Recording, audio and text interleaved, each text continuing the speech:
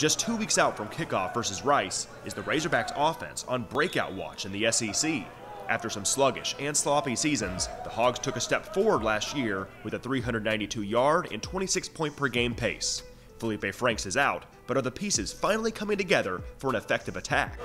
A crucial part of this puzzle is the play of KJ Jefferson, as the 6'3, 240 passer takes the torch as the starter. In the pass friendly offense orchestrated by OC Kendal Briles, success in year two of his system may all start with Jefferson's arm. Whenever KJ had some opportunities last year to play, and then when we had scrimmages in the spring, he was he was very accurate. I really like where he's at from a practice standpoint. And I've told him since last spring, I think 235 is the best weight for him. I don't care if he's 285 as long as he's dropping dimes on people and getting away from pressure. So I like where he's at. He feels comfortable.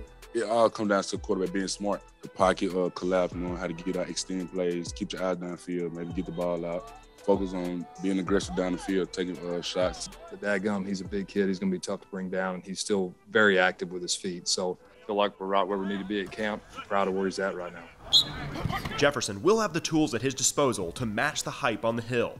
Sam Pittman is an offensive line coach by trade, and the unit up front returns all five starters, highlighted by guard Brady Latham. Running back Trelon Smith burst onto the scene in 2020 and is back, along with others in the rotation. Hudson Henry looks to lock down the tight end spot, and the receiver room is oozing with potential.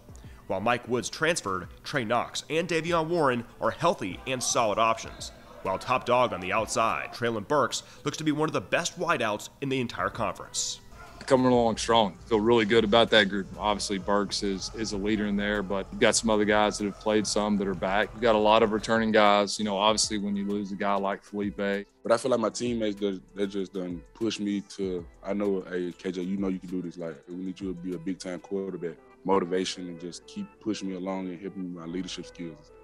Nick Walters, Fox 16.